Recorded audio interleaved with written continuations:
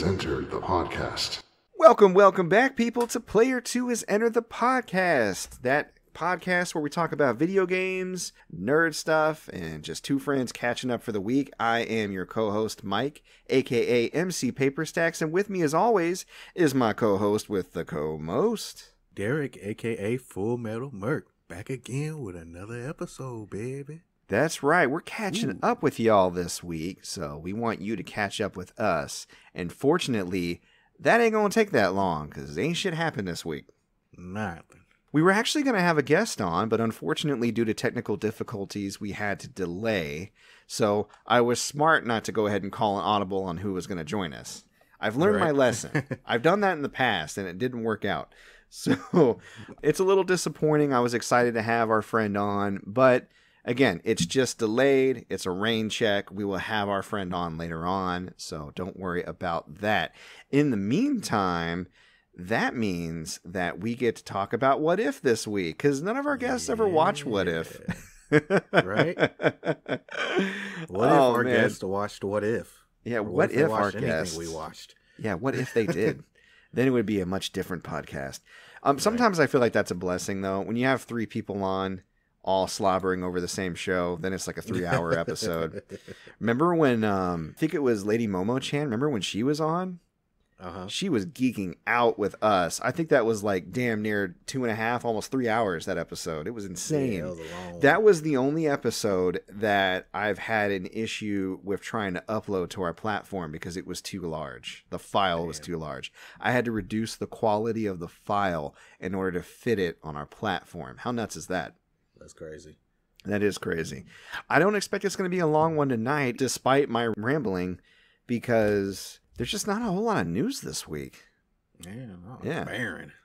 But screw it, man. Let's get into it. So, what if episode eight? Now, we talked last week about, you know, Party Thor and the direction of the series, where it's going, where it's been, and how, you know, we can't really come to expect certain things, and how we have friends that, you know, are starting to hate the show, don't want to watch it Yeah, yeah. anymore. And then, and then this episode happens, and, Right. um, mm, You gotta have a little faith, baby. I don't even know if we can really talk about it. I mean, is is saying anything about the episode a spoiler at this point? I mean, if you know the episode title, we don't have to get too far into it, but you know, it all this. I'm gonna put up a Let's talk about- spoiler warning anyways, just in case. Like we don't have to spoil everything, but I want to say spoiler because the very concept of this episode is not something we can easily dance around, and it is a big spoiler. I feel like, Yeah, wouldn't yeah. you agree? Oh, yeah. I mean, if they if they watch the last episode, then they'll know what this episode is about. If we just say, you know, like it's not something that Yeah, but the the very the very fact that you're saying if they watch the last episode tells them that they're linked, and that's a new thing for what if. true. And the fact that they're linked means multiverses are linked. Mean you know, what I mean, like, uh, uh, here we are. Yeah, yeah, So- yeah, yeah, yeah. Yeah, spoiler. If you haven't already hopped off, I hope you did. We we have spoilers. we have timestamps in our show notes for a reason. Click forward. You do not want to ruin this for yourself if you followed What If at all. That said, your oh, I want to see more of that came true. Yeah. oh my god. We got Vision Ultron with all the Infinity Stones Yes. showing up to Party Thor's world. Now they didn't directly connect to that. They they showed the universe where Vision Ultron came to be, where basically Ultron got Vision's body and how that all played out, and it played out way Uh-huh. worse than you could ever imagine. Oh my god. Bruh. Yeah, Bruh. literally uh it was basically the actual comic Age of Ultron hmm and not the like the movie that we got cuz like uh, Maybe that's why everybody hated Age of Ultron because it was kind of flaccid Yeah, and didn't really go as hard as the comic. Yeah. Yeah, they shouldn't have named it after the comic. They shouldn't have. Mm. And I myself haven't read the comic, but I've seen like clips and I've seen what Ultron looks like Mhm. in the comic and he looks like this and it looks dope.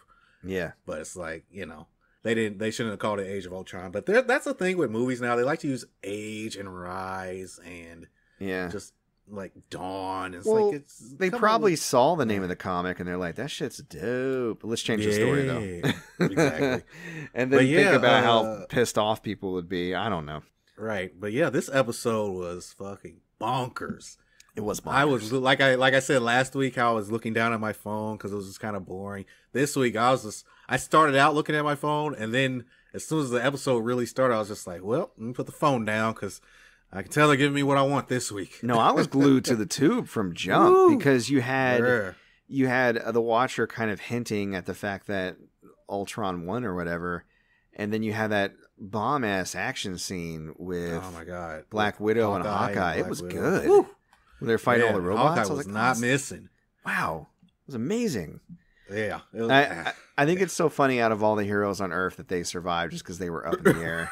right. Ain't what? What? No other airplanes? What? No other superheroes taking a vacation? What's going on what now? I'm saying. But yeah, the fact that they keep killing Tony Stark in every single one of these. What if Tony Stark like, oh, survived? oh my god. and they keep doing Captain Marvel dirty too. A little bit. I mean, they show how powerful she is, but she even when when she gets to flex, because I think she flexed her full power on Vision, Ultron in this, oh, she definitely did. and it just mm, Well, he was like, Captain. Marvel. Yeah. It makes you wonder if Tony Stark dying is one of those points in time that's immutable, kind of like the concept they explored in the Doctor Strange episode. Well, I mean, I don't know if it would be like that in every universe, because obviously in our. Oh, you mean just yeah, because he dies in ours. Well, eventually he's gonna die. Like you know. Yeah, That's but he he dies early every Yeah. single time. We haven't seen a universe yet where he dies of old age. right. Just saying. maybe he needs to die. I don't know. I mean, maybe it's I it's a ten year span of time, of course. So there's that. but- Right. Age of oof, Ultron was working everybody, Mhm. and the story was actually compelling. I really need Black Widow and Hawkeye to figure this out. Yeah. because this is not good.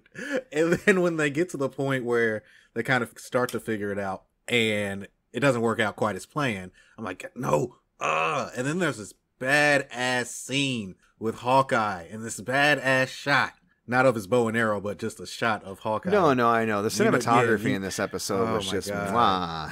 I was like, if good. this was, it reminded me of you know in Aquaman when they're diving into the trench and all of the well, I guess they're called the trench are coming up out of the water trying Yeah. to attack them. It was a it reminded shot. me of that. I was like, ooh, baby, yeah, James Wan was flexing for sure. right? Just give me some of that, please. Yeah.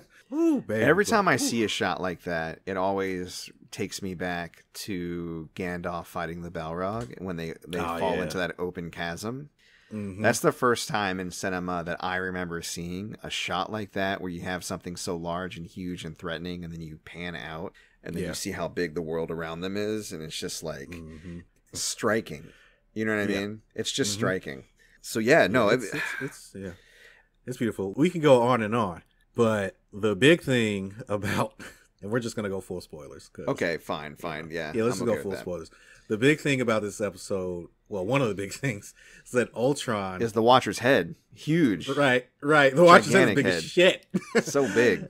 No, it's that Ultron senses the Watcher like many characters have when they've reached a certain level of power in this in the What If series. Mhm. They start to notice that there is somebody watching them, and he notices, and he's like, "I can see you," and the Watcher's like, "What the hell?" He's like, "Oh, change the channel."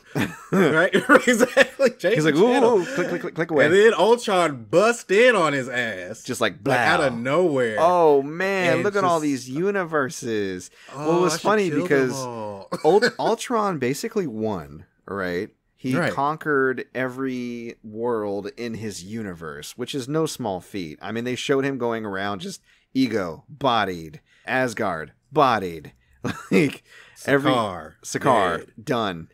Every world that we've ever seen displayed in the universe of Marvel, he went around and just wrecked. Then, you know, the Watcher's narrating his life, like, and then he realized he was sad because he, he completed his purpose. So now what? And then Vision's like, wait, somebody like speaking my thoughts? Who who is that? Right. you know? so yeah, when he busts in, he's like, oh, look at all these other universes I can bring to order, toys. quote unquote that I can bring peace in our time to.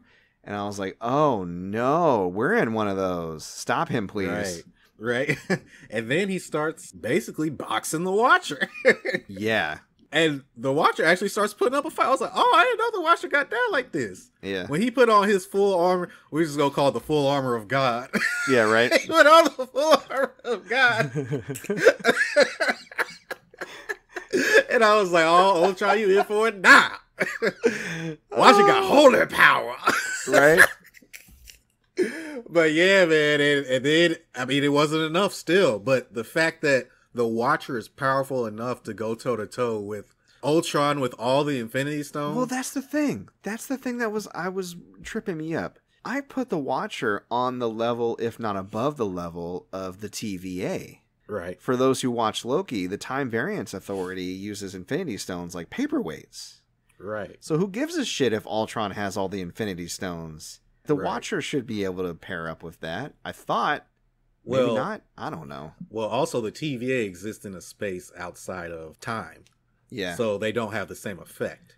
yeah, they but got some dragged- yeah. interesting toys for sure. Yeah, you're right. Yeah, he dragged the Watcher into actual reality, and that's when he was having the issue. That's true. But- That's true. And every time he punched him, they were like in a different multiverse, yeah. which was that whole sequence. The fight between the two of them was just like it was fantastic Beautiful. It was visually. so cool. Yeah, I had, and I had I'm a not really good time. I. I'm not a huge fan of the art and animation of the show. Like it's fine, but that fight, I was like, oh, this is cool. Like, yeah, I agree with really you. good. It's the art is serviceable, but the faux kind of computer generated animation, I'm not a big fan of either, to be honest. Mhm. Uh, but again, it then it, it yeah. gets the job done certainly. right.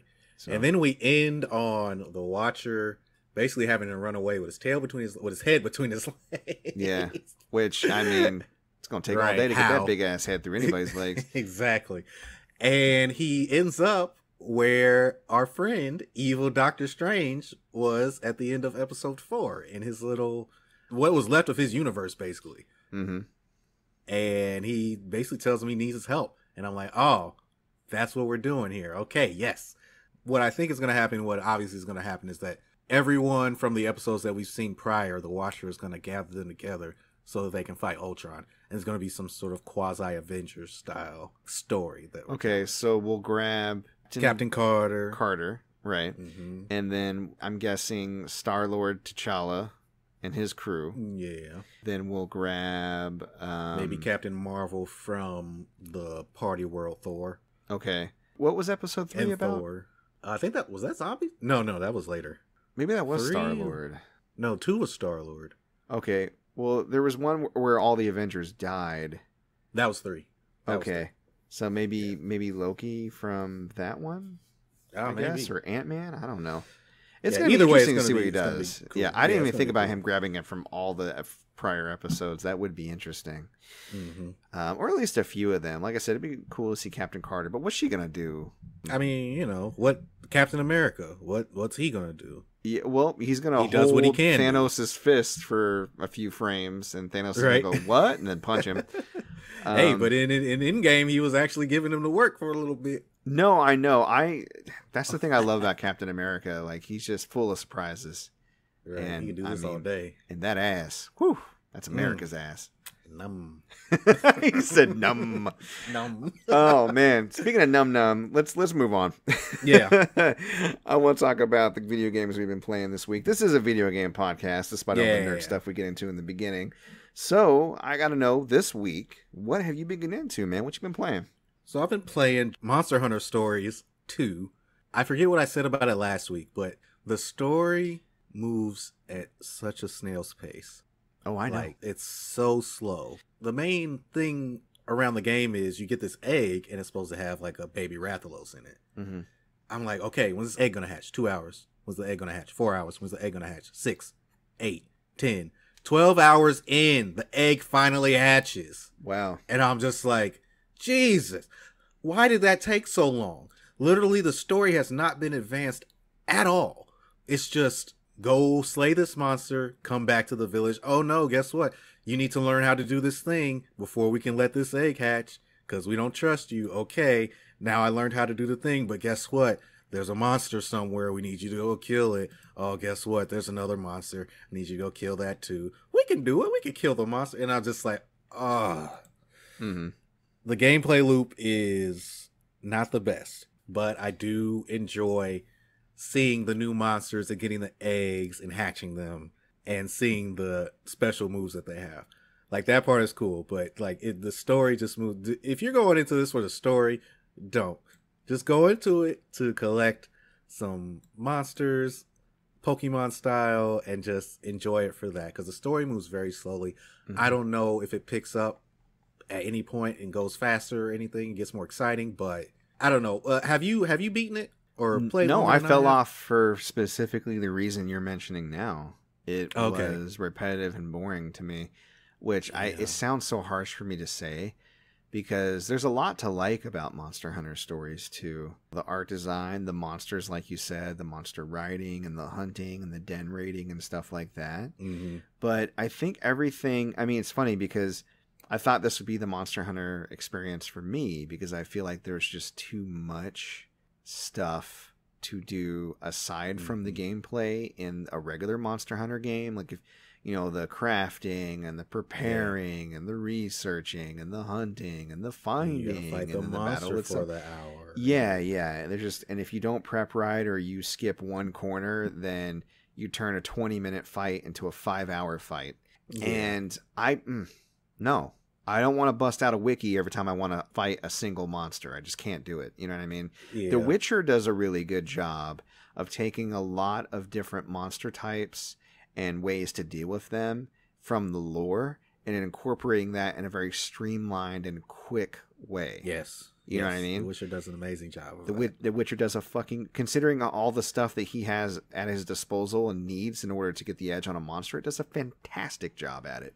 Mhm. And I was that's, hoping I fell off of that because there was too much to do, which I feel like is a better problem than there not being enough.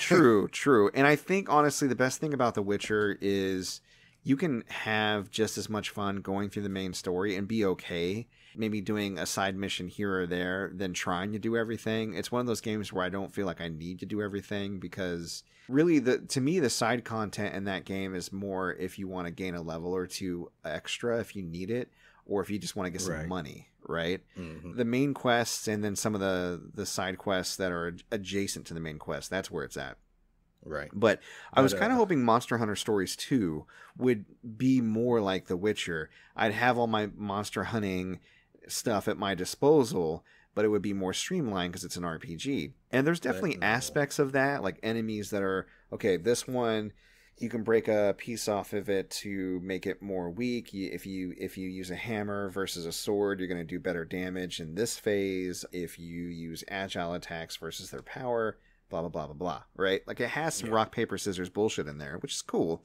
but it's it's almost too dumbed down and then Yeah. like you said when you pair it with the absence of a story where it, it moves at a snail's pace and nothing really happens until you get really far into it. With all these other games I got on my plate, I just don't have time for that, to be honest. Yeah, and the only reason it gets played now at this point is because it's the only game I have on Switch that I'm actively playing. Mm-hmm. So like that's I play Monster Hunter like at nighttime. Nighttime. kind of Yeah. right. Yeah, it's my nighty nighttime game. Night, night time. But another mechanic that really annoys me is that you cannot control any other characters in your party hmm I hate that. like I don't like that. directly. so it's like, yeah, sure, you might figure out that speed is what is going to help you win this battle in the head on against the enemy, but Mm. your monster is doing whatever attack it wants to do. And if it doesn't have the proper attack type, then you have to switch your monster out and do that. And then sometimes the enemy's no longer targeting that monster. Like it's just there's some weird stuff going on with it. Like I like it, it's it's okay, but I don't know if I'm gonna get through it. And it sucks because I bought it brand new Oof. because I just I couldn't wait. And I was like, oh my god, yeah, I can't wait. I want to play this. I Uh, can't believe you forgot that I have it. I can't believe you forgot that. well, it's not even necessarily that I forgot. It's just I wanted it for myself because I thought this was going to be the Monster Hunter for me, Mm, yeah, you thought that too, and it, huh? it still could be, just not as great as I thought it was going to be. Because them trailers, they had me hyped. I was like slobbering. I was like, another RPG on the Switch, and it's Monster Hunter. yeah. Give it to me, please. The Monster Hunter world intrigues me so much. I Mhm. just can't get into the mainline Monster Hunter, yeah. and that's and that's okay. I don't have that kind of time. let's get a turn-based FromSoftware game. Let's get turn-based Dark Souls in here. Maybe that's the Dark Souls for us. right? But oh man. oh, there was so many monster dens around that you can go in and get eggs, but it's like there's not that many monsters to have as many dens as there are. So you're just grabbing the same type of egg over and over. Not only that, And then- the then you just skip 'em themselves altogether. Look, them den, the Yeah. dens themselves Oh, look they're so exactly the same. There's so, so much bland. copy pasting in this game. Yeah, it's oof, uh, it sucks that I went from being so excited about the game when I got it to just being like, ah, ah, I don't want to play. it, I don't know. Yeah, I'm sorry to hear that, buddy. But yeah, I mean, it is what it is. At the end of the day, I feel like it is a kid's game. It's, Mhm. it's obviously aimed towards kids. It's got the cutesy look to it, Mhm. and the battle mechanics are very simple. I do feel like a child would be able to comprehend what's going on. Mm. One of the things that I do find good about it is when you're creating your character. My character's black, black as hell, dark as it could be. The story sort of revolves around what your grandfather did in the past hmm from the first game because you're the you're the first game's grandson or granddaughter. In cutscenes where they show the grandfather hmm and he's actually voiced, he is the color. He's black. Like they make him black. I like that. Cause too many times you'll create a character and they'll show a character that's related to you, but they're just white or whatever other color they're Mhm. supposed to be, even though you're black. It's like I'm black. Why are both of my parents white? it doesn't make sense. So I did appre- I appreciated that. Even though we only got two like two black hairstyles in it, I do appreciate that they went through the time to change the skin tone of someone who is your relative. Yeah, it seems like such a But yeah. simple thing, but you're right. It's often I- overlooked in the past. But yeah, so it gets it gets it gets five points for me on that. But we're gonna move on from Monster Hunter. I'm just making me feel kind of down because I really like I Oh. like the look of it and everything, but it's just it's so repetitive. Mhm. Oh my god. Mhm. But uh, the other thing that I'm playing is Lost Judgment. I Yeah. finally grabbed a copy. I beat Judgment earlier this year, and I really enjoyed it. The funny thing about this game is it starts off with my least favorite part of the last game, and that's a tailing mission. Anything different about the tailing missions in this game versus the previous game? Okay, so they did change it a little bit. And arguably they made it more difficult, which is weird. Instead of you finding a place to hide, you hold triangle to check your phone or Mhm. to blend in. hmm So you don't have to necessarily hide anywhere. You can just blend in and open in an open space. But there's a meter that goes down as you use it. And when you stop using it, then it stops. So if you run out of your triangle blend in, then you're just going to get caught. So you have to use it. It doesn't matter. Yeah. Yeah. So I did not like that. I did not like that. I was like, why did y'all start the game with the worst part of the last game? And arguably made it more difficult. That's how the first Like, game started. I'm pretty sure like that. That's you literally did a tailing mission in the beginning of the first game. And that's fine, but that was the first game. I I, didn't know how much I was gonna not like tailing. Yeah. I was like, I don't really like this. And then as the game went on, you know, there was other stuff that I could dig into. But yeah, I just thought that was funny. But so far, played it for about an hour. Nothing big's really happened yet. I think the main story is just about to kick off, and I'm interested to see where it goes. They added a new fighting style in this one, and I think, unfortunately, this is going to be the last Judgment game because there are some issues with the actor who's portraying the main character hmm they use the likeness of some Japanese pop star or something, or Oh, yeah. Japanese actor, and they're having issues with contracts and stuff like that. So this might be the last Judgment game, which sucks because I really enjoyed that last game, and I think this one is going to be good too. You know, some games have that shit that you have to dig through in order to get to the goodness, and in this case, it's the tailing missions. hmm So you know, Judgment is no stranger to controversy. There is another. I can't remember if it was like another character or a developer. Somebody was like associated with drugs, and Japan do not play that. Mhm. And there, there was a chance it wasn't even gonna be. It was gonna be pulled and not even come stateside. So the fact that we even got it, I think, is a small miracle. But that's so interesting to me. the Yakuza developer, they're really good at implementing that formula with any kind of concept. I mean, we were talking recently about Fist of the North Star. Mhm. Judgment itself is kind of a spin-off, right? Yakuza. right? I think that should this be the last Judgment game, that's fine because they're still going strong and they could explore this kind of gameplay formula with yet another archetype or a different character. I really 'cause- love uh, detective stories for sure. Mhm. I think that's what really attracts me to Judgment. But there's other character types I think that we could play as in Kamurocho and have just as good of a time. So Yeah, and plus I think the I think I read that the main series going forward, the Yakuza series, is going to be turn based, like Yeah. how Like a Dragon is. So they're gonna have to come up with something. Yeah, yeah, and I'm but okay you know, it, it shouldn't be. Yeah, it shouldn't be too hard. But yeah, that's what I'm playing this week, man. What about you? What you got going on? Okay. Well, I did finally pick the Ascent back up. Okay. It had been long enough since I had completely lost my old save file that I decided to go ahead and go back into it. It's just as fun as it used to be. It's kind of buggy. I mean, it's always been buggy, but the bugs are even more noticeable to me. And there was a mm-hmm. bug where I almost couldn't track the main mission, and I had to do research to figure out where I was supposed to go. And then once I advanced to the area adjacent to the mission, it started tracking again. I was like, oh, thank God. I was like, do I have to start this game for a third time? No. Um, do it. But it's a bit of a slog because now I'm just going through the main missions instead of doing side missions, and I'm a little under leveled and I'm by myself. Like I really need a buddy to play that game with. I really And do. you know, I was uh I was listening to Gamer Friends last episode and how uh Audio Nerd was praising you for how you were able to describe. Yeah, that was really nice of him. Actually, Yeah, I was like, oh, that episode had me cracking up too, man. They're wild. no, yeah, their most recent episode, guys, listeners, friends, fans, family. If you're not listening to Gamer Friends, you need to. Due to scheduling and everything, and hopefully this gets better for them because I know they hate it. They haven't been able to be as consistent, so a lot of times they'll have an episode and have to cover like the last month or two. Mhm. but they do such a good job. Didn't they do such a good job? yeah, Ra- like, yeah, they did really. Yeah, yeah, I wish I had that skill. I feel like we struggle just to catch up for the week sometimes. right. Uh, but they do a really good job of summing everything up and yeah that whole not to really dive into their episode but that whole theory about jake from state farm. Yeah. i'm not going to say much more than that but jesus christ Yeah. big nick. Oh my god.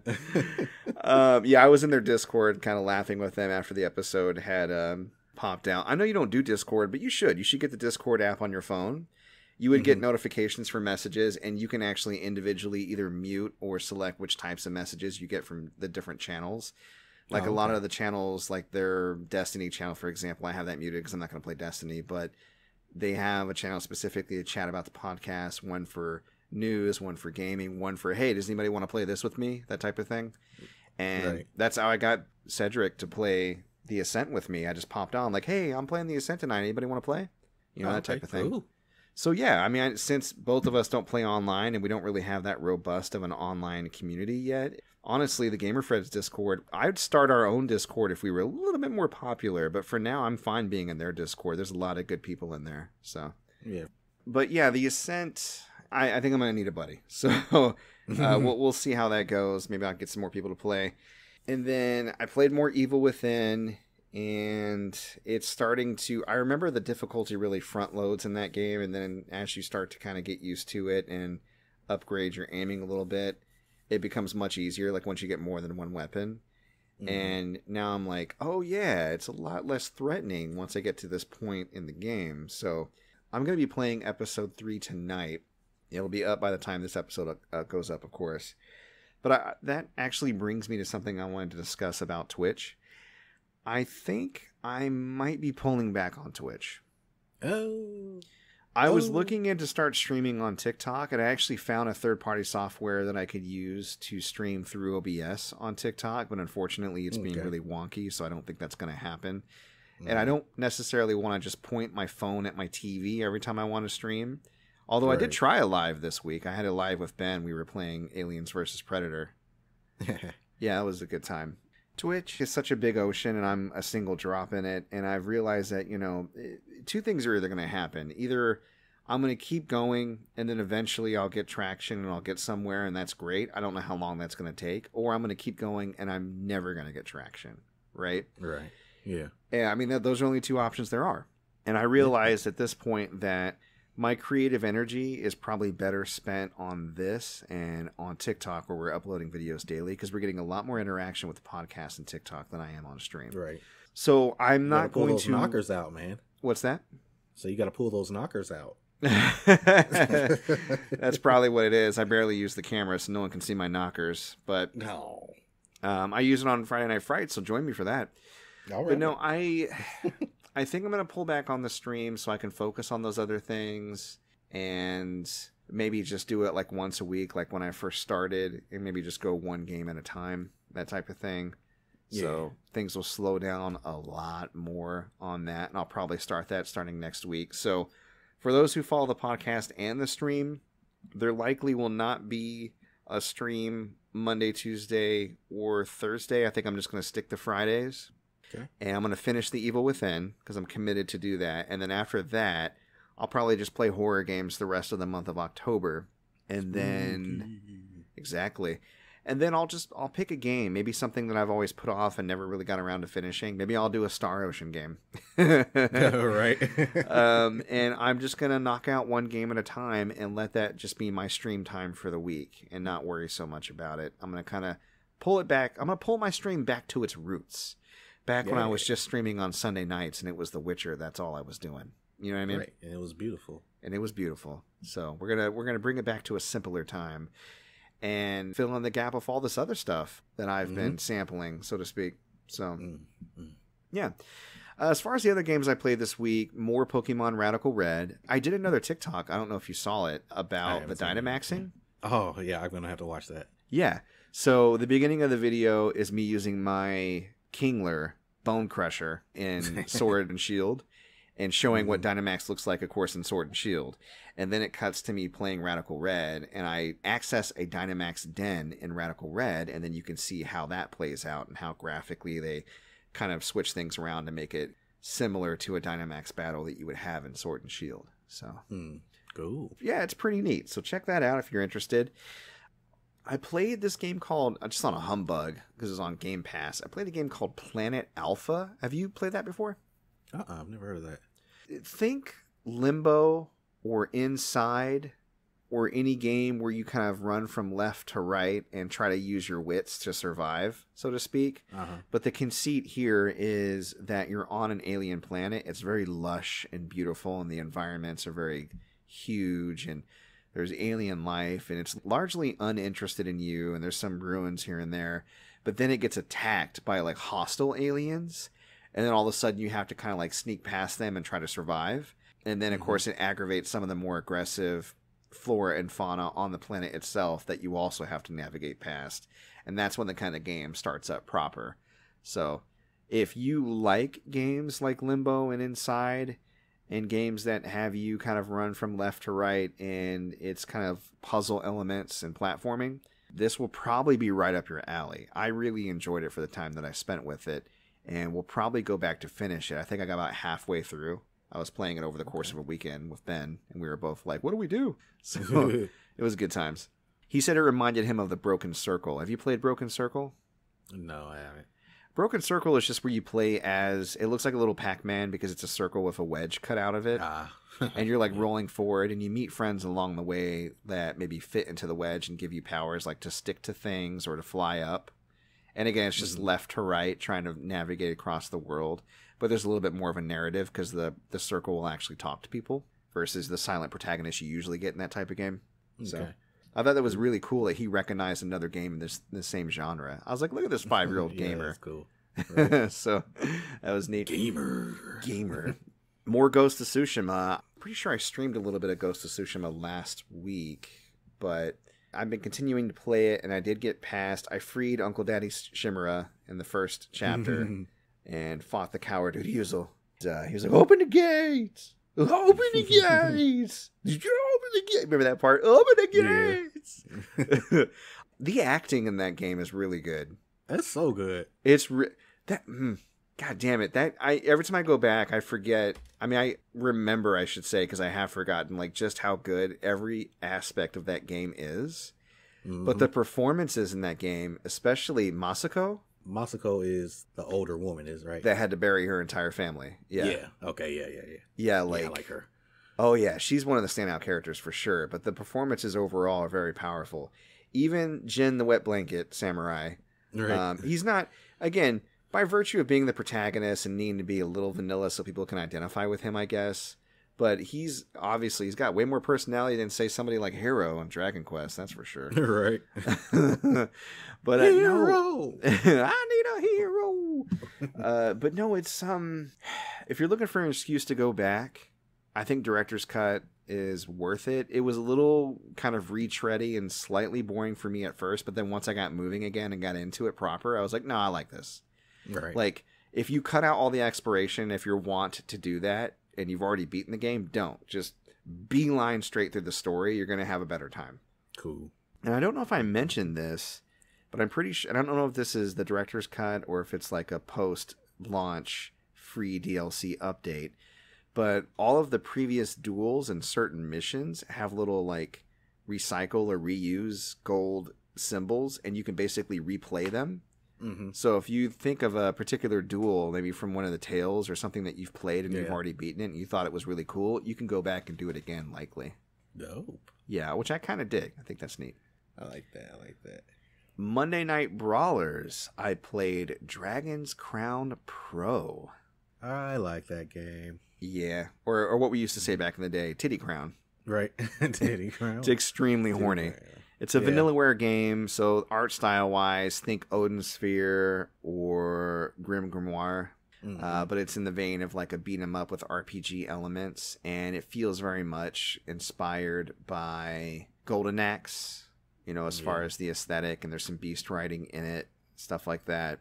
And you have your classic characters. You got your sorcerer, your Amazon. Amazon, your dwarven warrior, your cleric, your knight, yeah, different characters like that.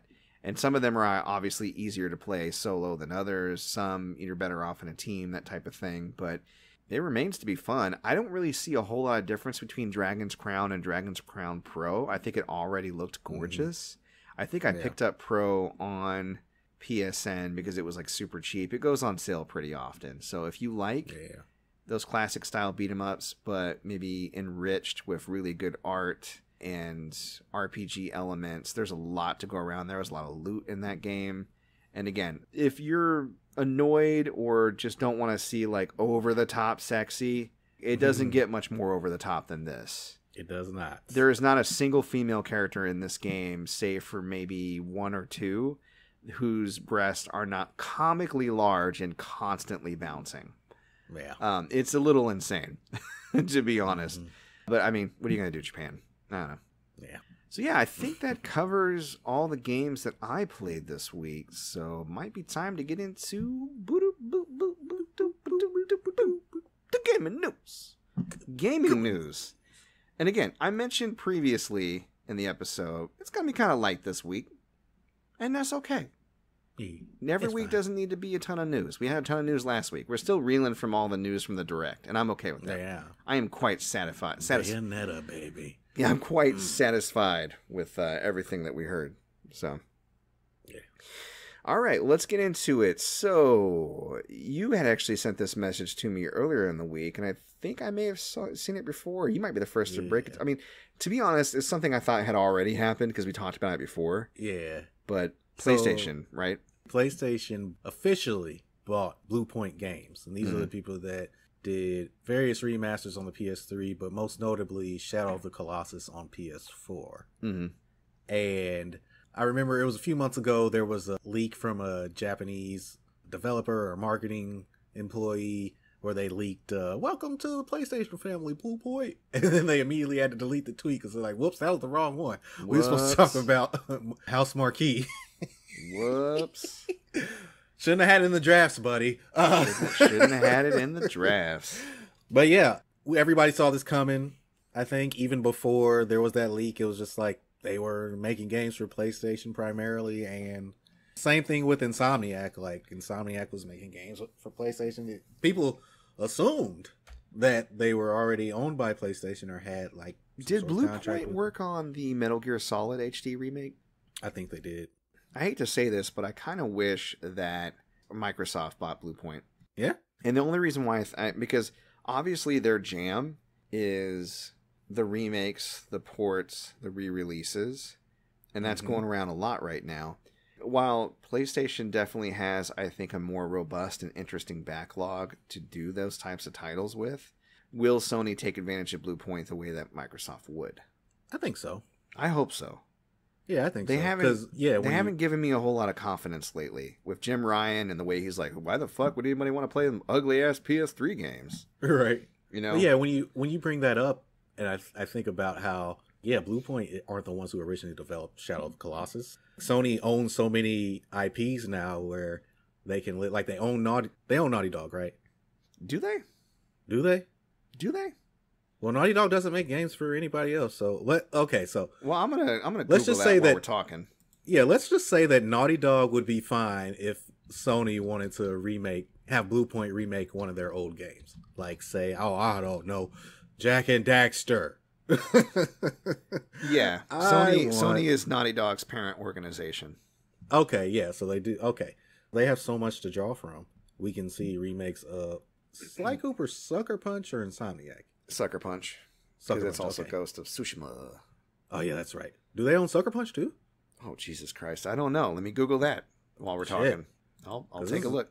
Because you know, I know Microsoft bought a bunch of studios, but uh, Sony kind of kind of flexing on them. They own Sucker Punch and Insomniac. Yep, And Sony owns Sucker Punch.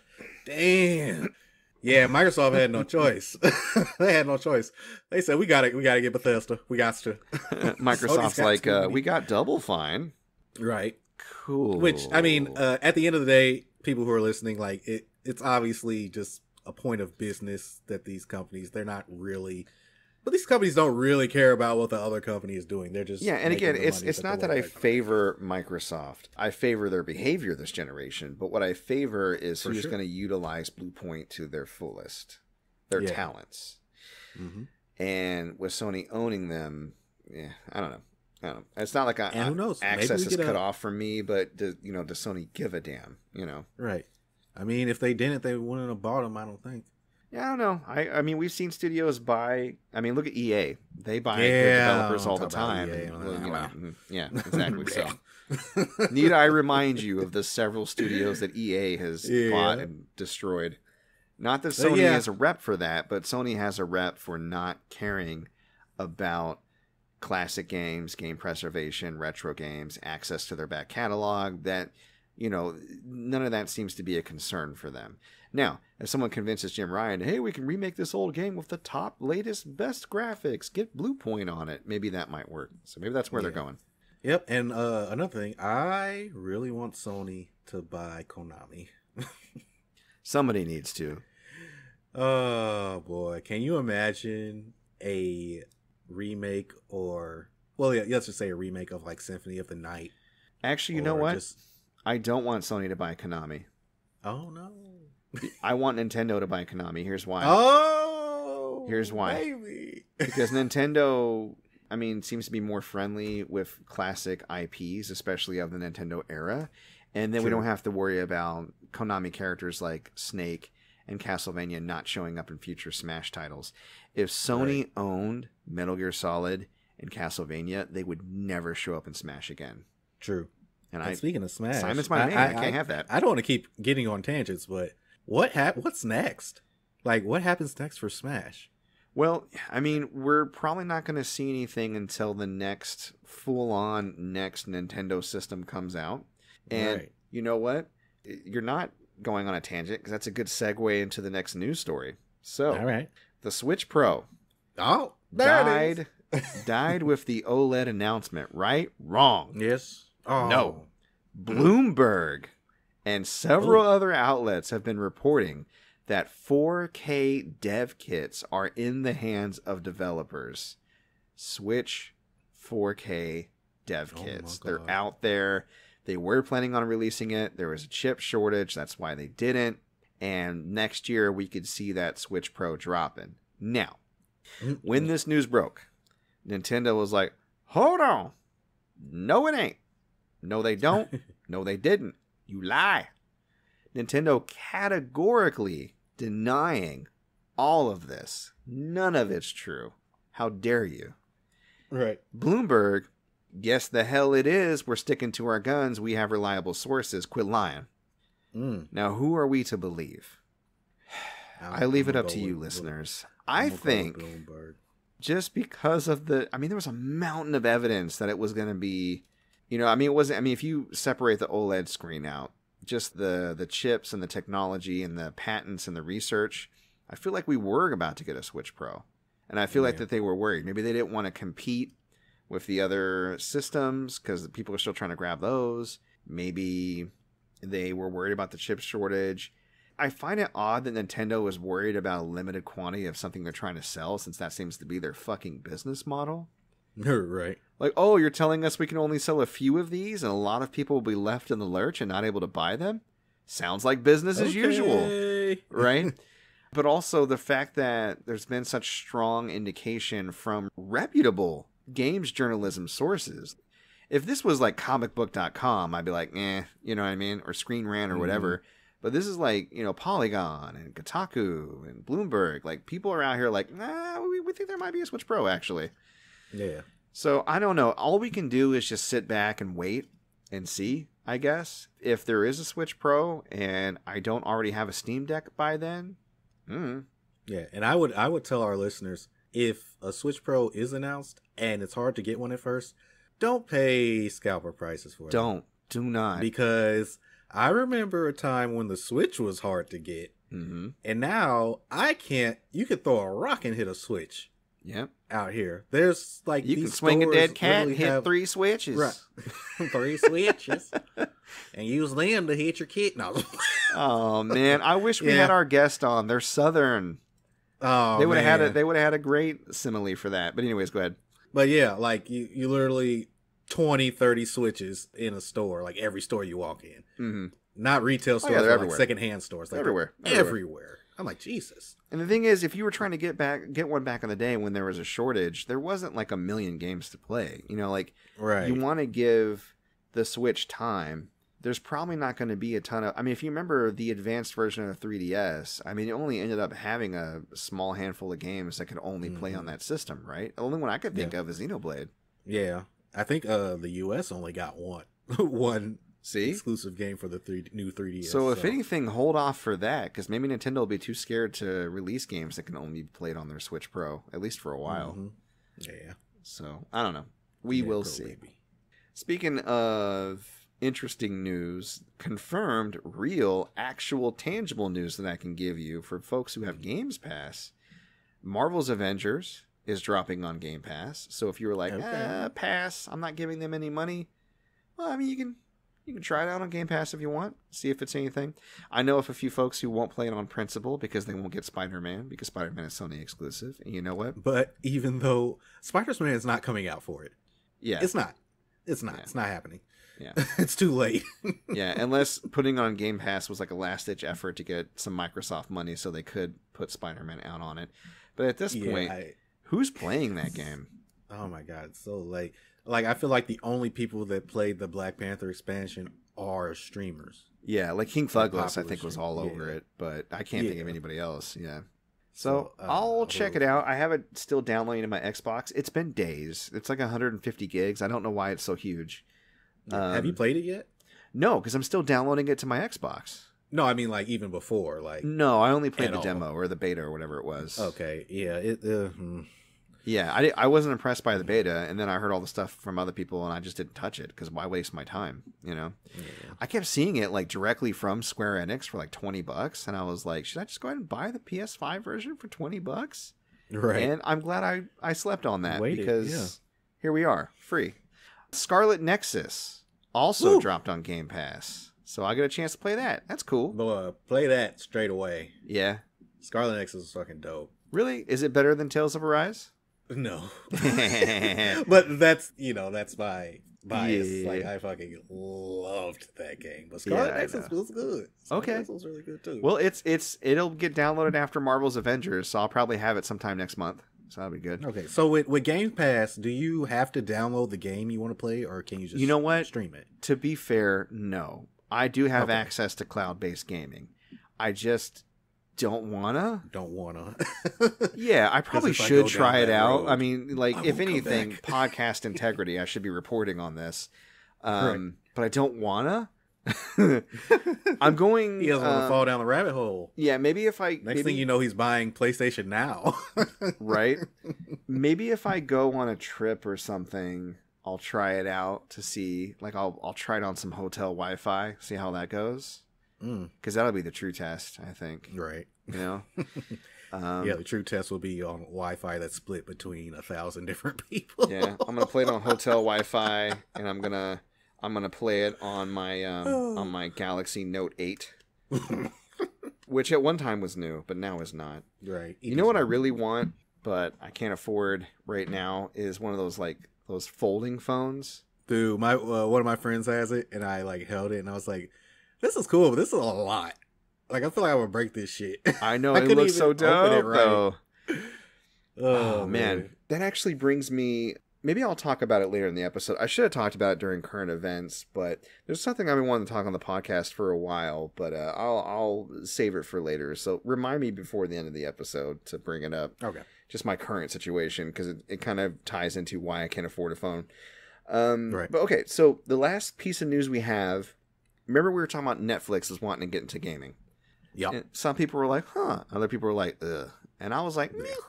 So Netflix recently bought video game developer Night School Studio. They're most famous for making Oxenfree, if you've played that, uh, which is pretty decent actually. It's a little indie game. And I like that they bought a beloved indie studio because to me that's kind of a good faith move.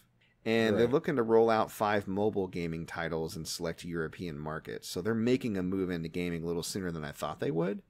The cool thing is, is I think Night School Studio had actually contracted to do a Telltale style game surrounding Stranger Things. Hmm. And it got me to thinking about all of Netflix's IP. And then, Oh, yeah. like they actually have some stuff that they could put forward that's unique to them. Sweet. And again, what could a studio like Night School Studio do with Netflix money, right? Mhm. Are they going to be like Google and put a little bit of money and then if they don't get an immediate return, just squash the whole project? Or are they going to be like, mm, I don't know, Netflix, throw all the money at it until it works? Because that's how Netflix do. Right. We know how Netflix do because we've seen them do it with movies.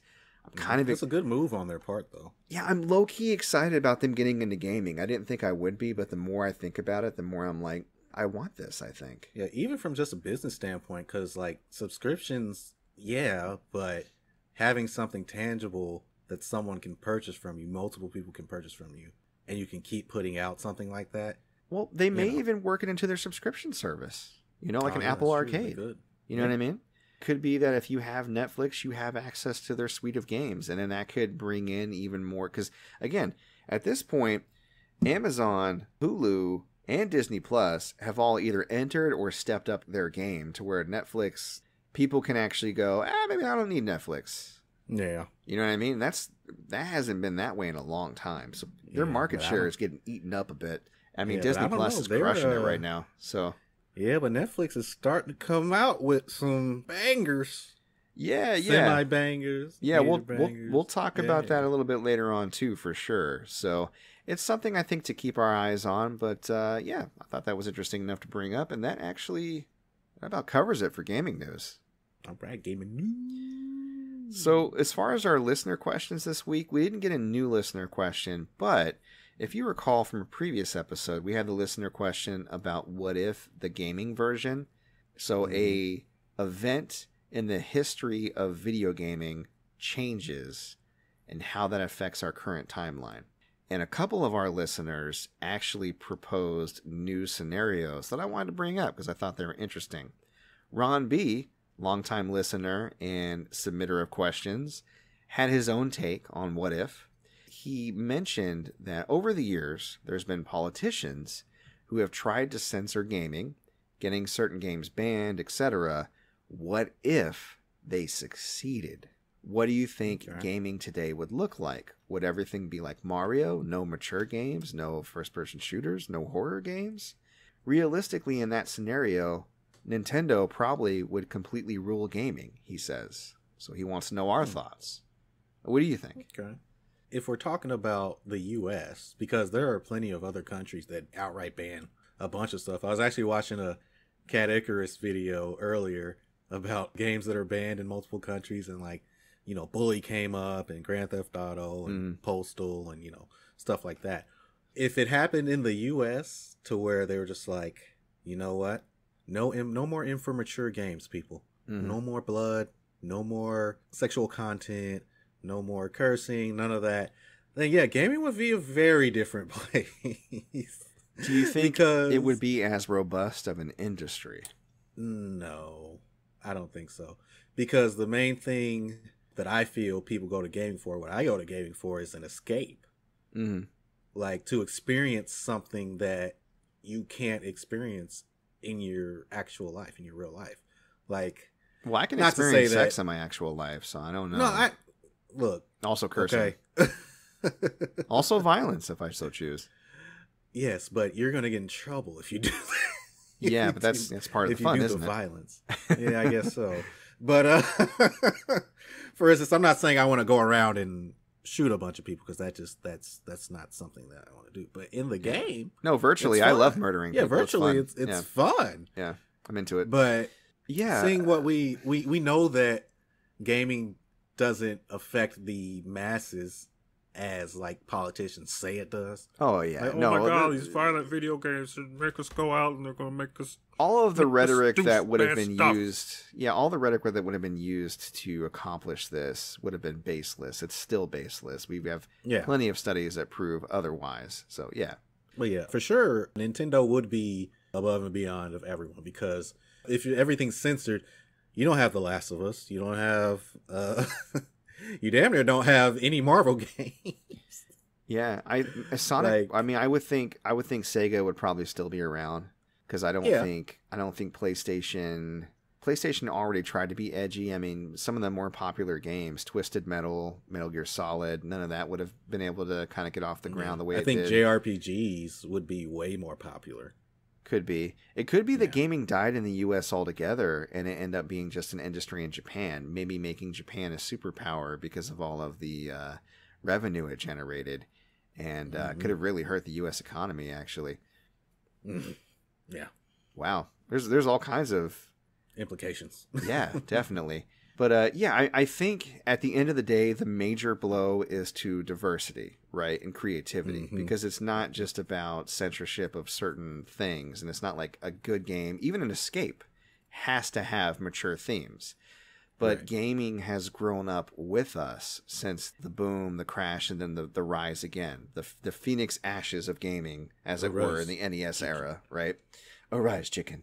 Mm. With that said, if it didn't grow up with us, then we probably may have left it behind or discarded it. And that's not to say that adults don't enjoy games aimed at children, but if that's all they were left to be, you know what I mean, and there was Right. no kind of, then it probably wouldn't be as ubiquitous and widespread as it is now. Because right now, we have games for everyone, for every Right. mood, for every temperament, for every style.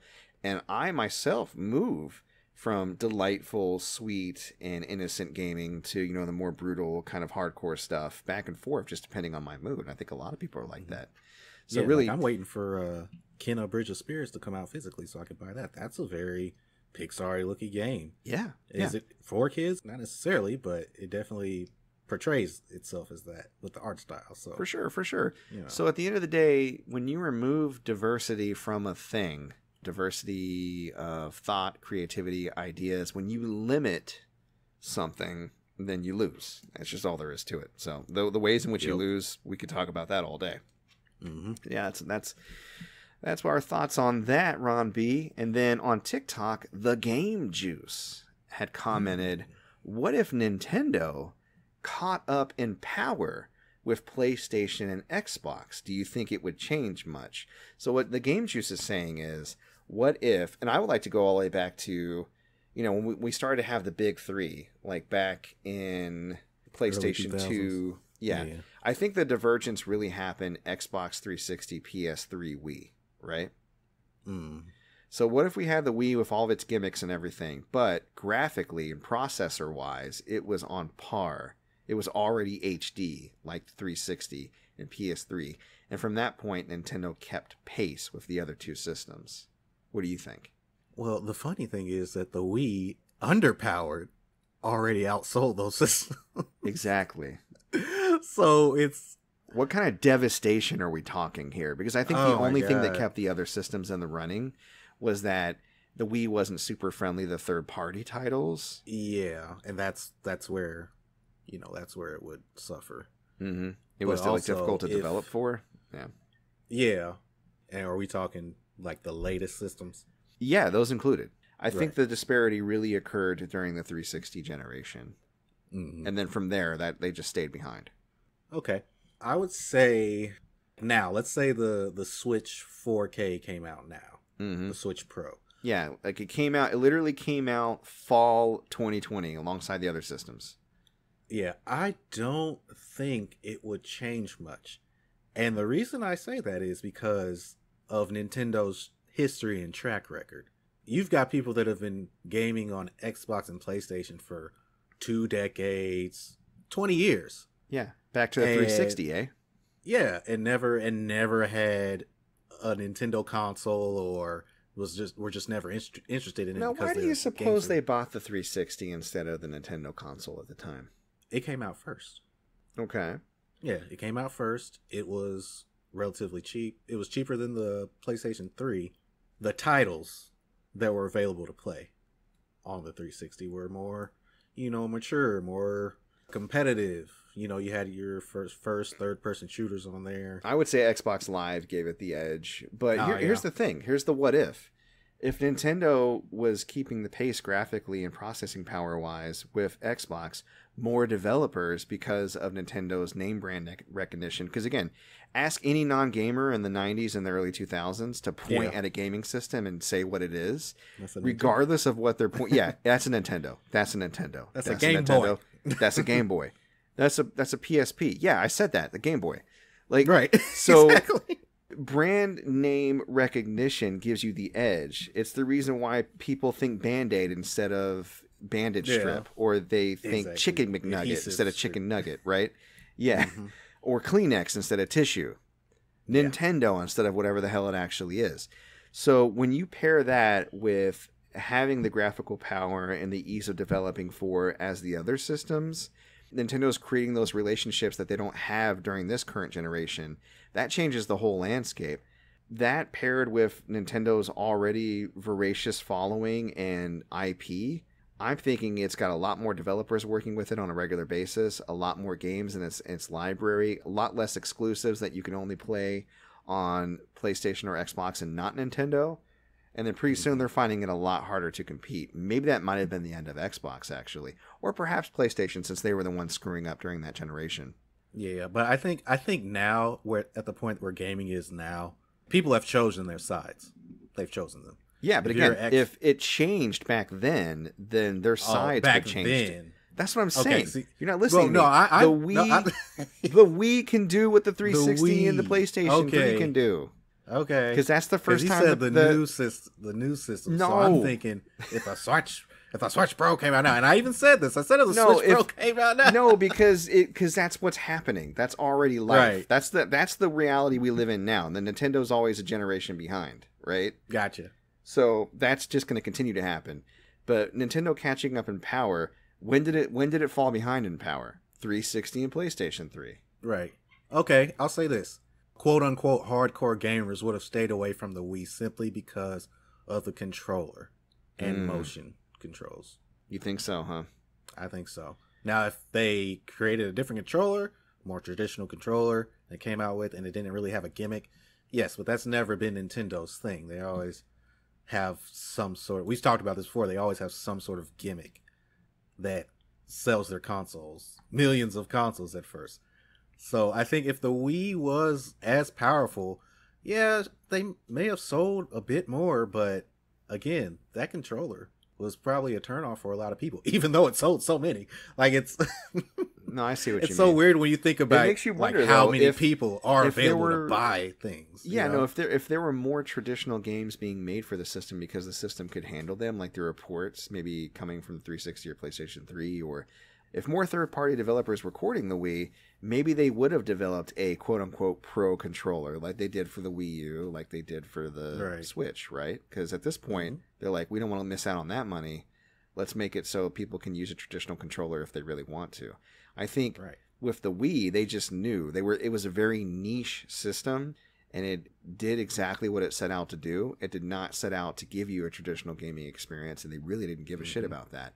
But if they had that kind of processing power and they were being courted by a lot of third party developers making, you know, quote unquote more traditional games, maybe that would have created demand for a more traditional controller. I don't know. Yeah. Just because Nintendo catches up in power, it doesn't mean they're they're not still Nintendo. So yeah, Right. I, I see what. Well, that's the thing. I like about Nintendo. Like they don't have to be the best graphically. They no, don't have to. they never did. They never So, did. It's. yeah. I mean, at the end of the day, Their games are enough. Their games are enough. It's all about the creativity and what you do with what you have. I agree with that. And graphics are never going to trump gameplay or how fun a game is just to experience. You know what I mean? Like they add Yeah. to it. It's a component certainly. But I mean, there's a lot of us that still enjoy playing like 2D games and stuff like yeah, that. Yeah, when you have all these indie games coming out and they're getting universally praised, it's like, do graphics really matter? Not terrible. I mean, some people they do. Honestly, Yeah. some people they do. But I think they matter as much as a genre preference matters to me or you.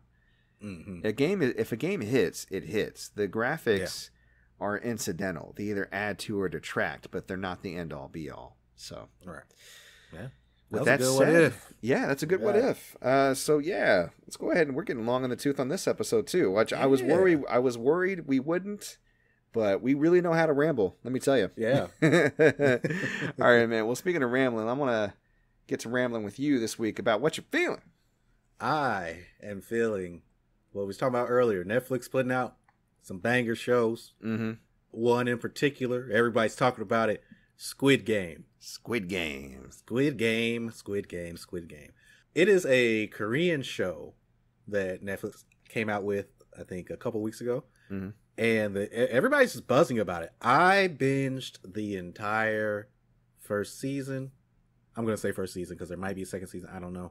I think there's nine episodes and they're each like an hour long. mm-hmm And I watched, I stayed up until 4 a.m. one night watching oh i know those feels. every single episode. and I haven't stayed up that late in a while. But I was like, at the end of each episode, it's like, well, shit, I gotta watch the next one. Yeah, when I when I first Like, started can't watching uh, Sleep on this. when I first started watching Mr. Robot, I binged a lot of it in the beginning. hmm Um, then I kind of fell off, much to Ron B's dismay. But I'm probably going to get back into it eventually. So Yeah. But uh, Squid Game, like I said, it's a Korean show, and the premise is a bunch of people who are in debt are contacted by this organization to play in a series of games. And if they win this series of games, they win a large cash prize. Only thing is, if you lose in the games that they have you play, then you die. yeah, if you're So, we've eliminated, seen- you are eliminated. Yeah, if you jump in rope and you miss one of the jumps, pow, right in the kisser. That's not one of the games. I just I don't want to spoil any other games for anybody on there, but I was like you jump and rope is- with a with a lightsaber. right. so if you miss, then your your head gets lopped off. Yeah, no, it's uh here's the thing. Netflix has been putting out some good Korean shows, and if you listen to us, you know that we love Sweet Home. That's oh, Sweet another Home's Korean so good. show. I love Sweet you know that I love Kingdom. That's Mhm. another Korean show. Like I, I need to go on Netflix and just because apparently this, they just be putting out my shit. So I I'm- need to just I'm go really- to Kor- Korean shows and just look at what they got. We need to start watching more Korean shows. But I'm really into Korean horror. They do a really good Mhm. job because you know it's a different type of flavor, and even different than like say Japanese horror or Chinese horror, which I like the least probably. But uh, Korean Mhm. horror, they do a really good job with creating tension and Mhm. being creepy. Like they don't rely too heavily on jump scares. They rely more on creating an atmosphere and making you worry about somebody. Like really Right. worry. And Mhm. I love that about their shows. So, yeah, I Yeah. completely agree. Yeah, but this show, and this has been happening with me a lot recently, where I'm watching these shows, especially ones that come from different regions, Mhm. and they have me thinking about stuff from a Korean's perspective that Mhm. I never would have thought about before. Oh yeah. Like there, like there's a. This is actually the first episode. There's an instance where the main character, he's he's kind of like a deadbeat dad, but he's not. But his family and his daughter, his ex-wife and her husband, they're gonna move away. And his mother tells him, "Well, she's gonna move away to America, and then she's gonna forget how to speak Korean, and she's not gonna be able to talk to you. You're gonna be like a stranger to." her." I was like, "Fuck!"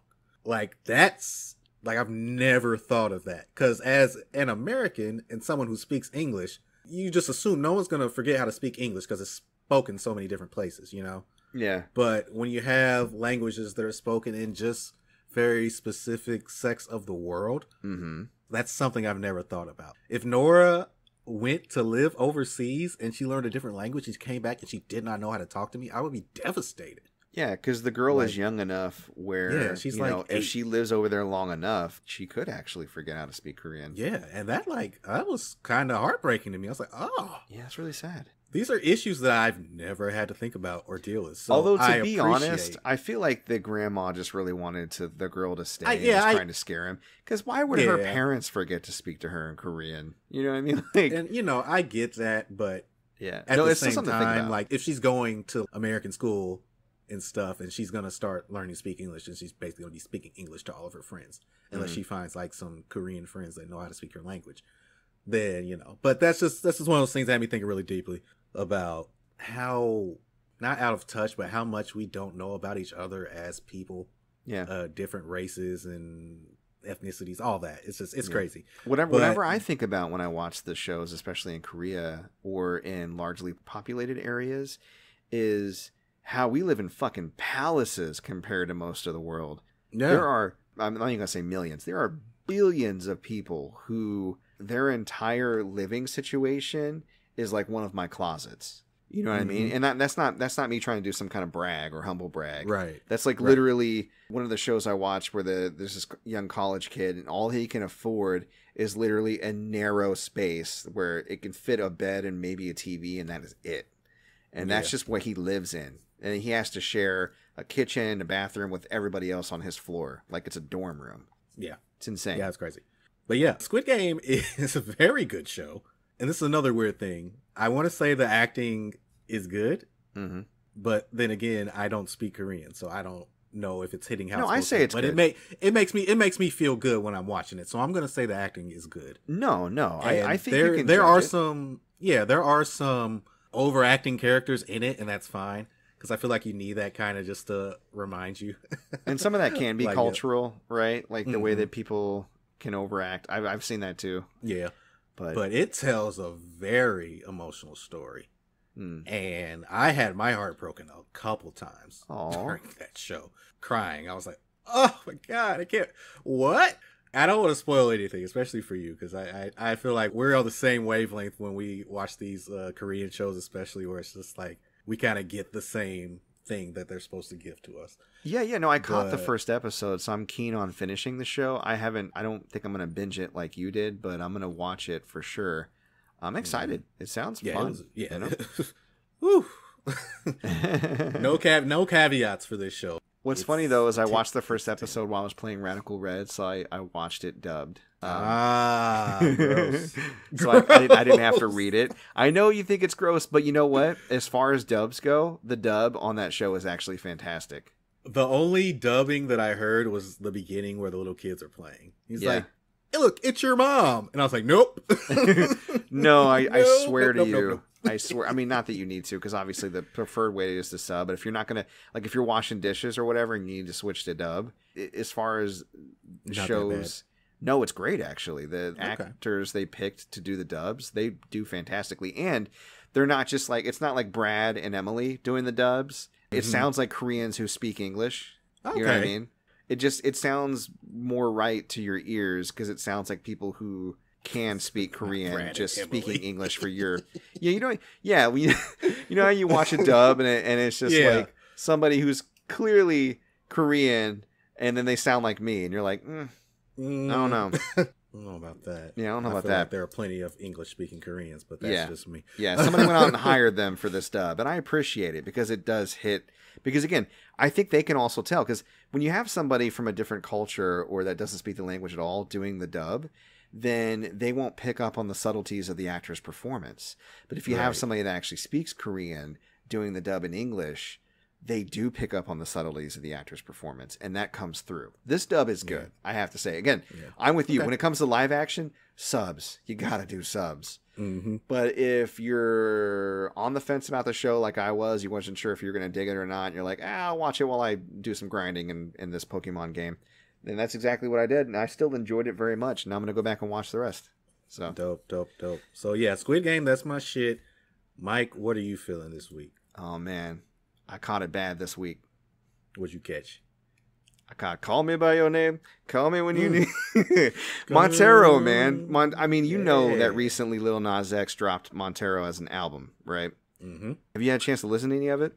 I've heard like the three singles that he has, but what are the singles off that album? Because I don't listen to radio. Uh, you know, "Call Me by Your Name," hmm "Industry Baby," Ah, with Jack and- Harlow. Okay, yeah, and "All I Want" or "What I Want." It's something I want. I that's it's what I want. That's what you're talking That's about. what I want. Yeah, yeah, yeah, yeah. Yeah. Which I'm not a big fan That's of that what one. I fucking that want. Yeah. Yeah, not a big fan of that song, but Someone who Like- needs me. Yeah, I know that one. yeah the the album is it's a journey and it actually Mhm. i learned a lot about him just through listening to the lyrics and stuff he does not have a very good relationship with his mother i did not know that i don't follow up on Mm. like celebrity gossip or news or whatever but it's really good doja cat's on there megan thee stallion elton john got a credit Elton John. yeah, he i don't was know in if a little uh commercial with him Oh. for some uh, fast food company. miley cyrus is in it and that's one of my favorite songs on the uh, album and i'm not even really a miley cyrus fan but i just Right. love the song I'm more a Hannah Montana fan myself. um, and there was even a song that was giving me Frank Ocean realness. There's a song called Void, and it's just very soulful and it's very Frank Ocean. And Little Nas X obviously doesn't have like the singing chops of a Frank Ocean. No shade. It's just they're Right. they're different types of musicians. But the tone and the lyrics and the song itself, like everything, I was like, he was listening to a lot of Channel Orange when he wrote this song. Yeah. but to me, that hit because I I'm a huge Frank Ocean fan. So I recommend this album wholeheartedly.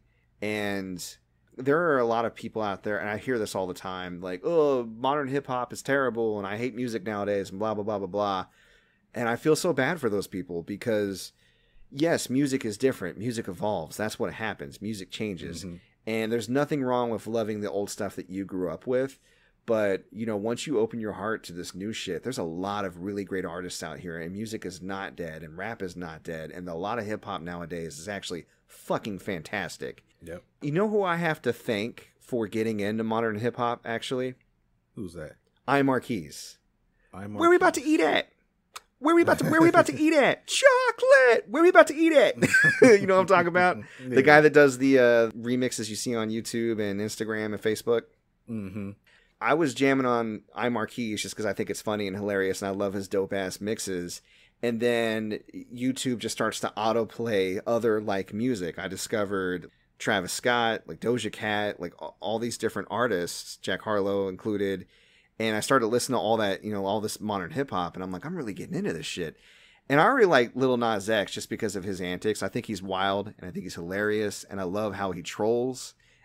and like in Mhm. Satan shoes. And Montero's a fucking bop. My only critique of Montero is why is it so short? Yeah. Like in The fact, album uh, itself. yeah. Well, well, not the album. To be fair though, a lot of the bangers on the album are also short. Mm-hmm. The best songs that he's ever done, the, the songs of his that I love the most, just end too quickly. And I think that's probably the best critique you can have. Is I just Yeah. want more of it, please. More of that. right? So yeah, give me more Little Nas X, definitely. But I love this Yeah. album, and I've been listening to it a lot while I've been at work lately, and it's just been getting me through. So yeah, yeah, watch the uh watch the that's what I want video. I need to. I'm gonna go do that. I'm not even a big fan of the video, but he like straight up makes the fuck out with the, the other dude in the video like a lot. It's heavy. I was like, God damn. They don't even I said, they don't even do this with the women in the rap video. Yeah, no, he is. Damn, he lot. is unapologetically gay, and you kind of have Yeah. to respect it. You know what I mean? Oh yeah, definitely do. Definitely do. Cuz he's 'Cause like fuck fuck what you think. Because it's know, a lot harder to do that. I mean, It's what it is. Don't let me speak for you. I think, but I think you would agree. It's a lot harder to do that even in the black community. You know what I Oh, mean? definitely. Like, For sure. But yeah, uh, low props to him, man. He's doing his thing. yeah, he don't give a shit. He said, Yeah. "I'm paid. I'm gay. Deal with it. I'm on. you ain't got to look at it, but I'm gonna put it put it out give there." Satan a lap dance. You gonna watch it, Bruh. bruh? Like I can't I can't help but be like mesmerized by his videos and stuff because I'm like, this dude is really doing his thing. He out Yeah. there. No, it's And, uh, um, it's peak vulnerability, and again, I have to Mhm. respect it. I have to because it's it's brave as shit. I don't know how confident he is in real life, but he's putting forth a persona that I think is going to be, you know, really empowering and inspiring for a lot of people, an entire For sure. generation, really. Yeah, I have a lot of respect for him as an artist, and I'm really enjoying his new album, and I think y'all should check it out for sure. Uh, so I mentioned earlier about what's going on with me. So I don't talk. Well, it's funny. I was getting ready to say I don't talk about my personal life on this podcast a lot. That is a fucking lie. I talk about my personal life all the time. But I wanted to mention this. I recently hit a crossroads where I could work more. Like I was, you know, doing the the forty hour a week daily grind, right? Mhm. And I had a crossroads where I could do more work but make more money than I've ever made, like a dumb amount of money. I had that I had that job offer on the table. And then this other door opened where I could make no money, but I only had to work 20 hours a week. So they're paying me peanuts, but the work is easy and I'm off by noon, right? Mhm. At first I took the the big paying job, but then I was kind of dragging my feet on, you know, onboarding. And at one point, I think the person in HR was like, "Do you even want this job?" And I was like, "Huh, I don't want this job."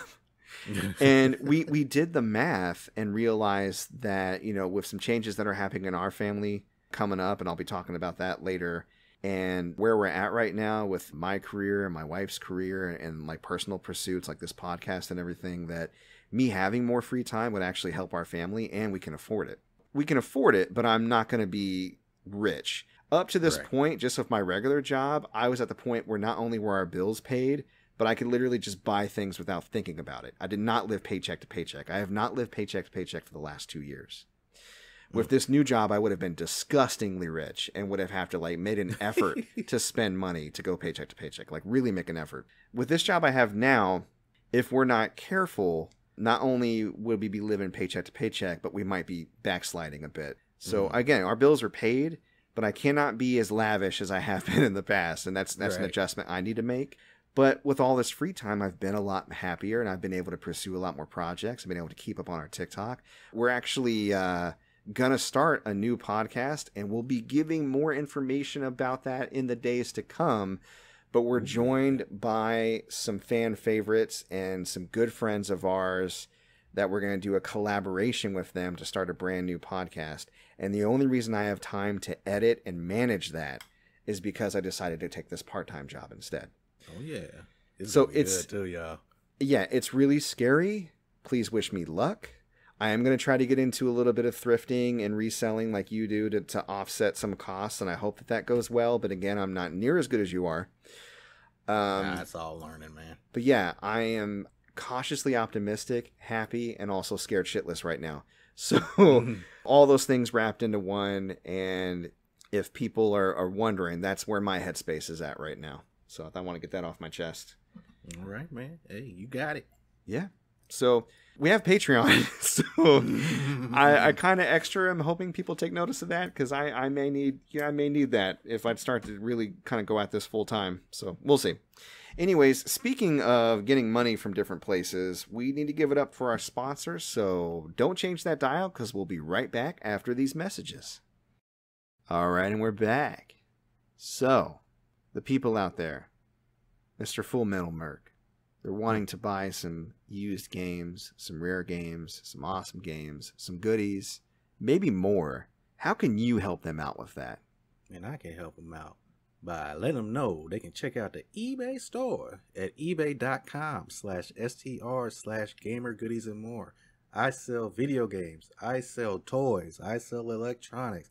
I sell basically anything that I can get my grubby little hands on to get to you. And I got some really good shit, y'all. So y'all need to check that store out.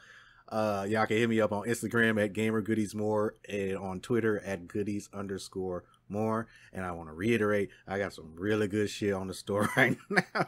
you check that out so I can get it out to you. Awesome. And as far as the podcast goes, again, I say this all the time, but we upload new episodes to our hub at anchor.fm slash player two is entered the pod every single Sunday. But our podcast is also available on other platforms like Breaker, Google Podcast, Overcast, Pocketcast, Radio Public, Apple Podcast, and Spotify. Almost didn't make it that time. uh, you can find us on all the social medias. We're on TikTok.com slash at player two is entered the pod, Facebook.com slash player two is entered the pod, YouTube at player two is entered the podcast. So subscribe, follow, get those notifications. We appreciate it. If you want to support us, you can do so at patreon.com slash player two is under the pod. And you can contact us via our social media or by emailing us at mcpaperstacks at gmail.com if you have listener questions, guest suggestions, feedback, etc. If you want to find me personally, I'm on Twitter at Mike Peterson AL. I do Twitch streaming, although I am pulling that back. So look for me on Fridays. I'm going to keep that Friday show for now. And that's uh, 10 o'clock Eastern, playing Evil Within right now. And that is our show. That was a good one. I a think lot so. fun this episode. A Yeah. lot of fun, a lot of fun. So uh, we appreciate y'all coming out to listen to us. We love you, and we will see you next week. Take care. Peace.